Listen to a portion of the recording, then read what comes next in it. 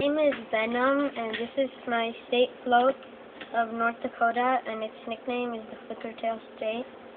And so first of all, these Lego people, like there's a bee on all of their thingies, so for the Bakken region.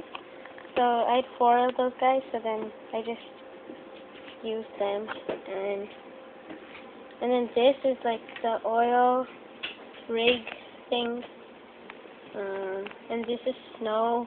And I bought this paper, and like it had like it, there's a paper that's for like this is actually like exactly what the North Dakota landscape would look like, and we had I just put soil there. And the state bird is the western meadowlark. and then the state's highest, I'm sorry, lowest temperature was negative 60 degrees Fahrenheit. And then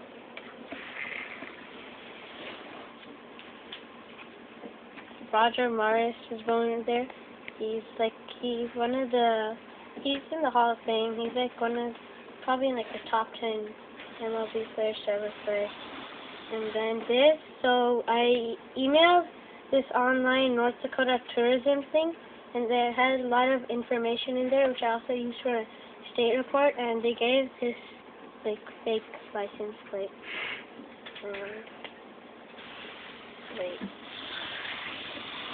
That is, North Dakota has the lowest unemployment rate, and that's the flag.